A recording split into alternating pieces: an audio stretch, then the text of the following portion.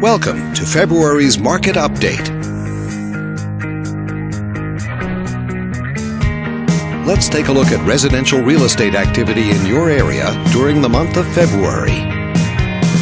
The number of active listings was down 6% from one year earlier and down 27% from the previous month. This smaller inventory means that buyers who waited to buy may have had a smaller selection to choose from. As you can see, the median listing price for the month was just under $190,000. Compared to last year, the average number of days that units spent on the market before being sold was down 28%.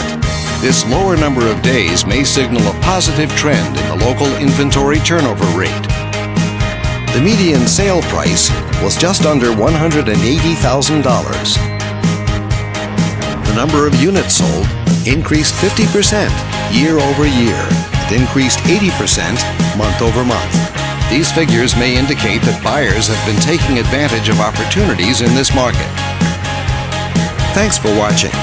We hope you use this information to make smart, informed decisions in your upcoming real estate transactions. Feel free to contact us for more information or further assistance.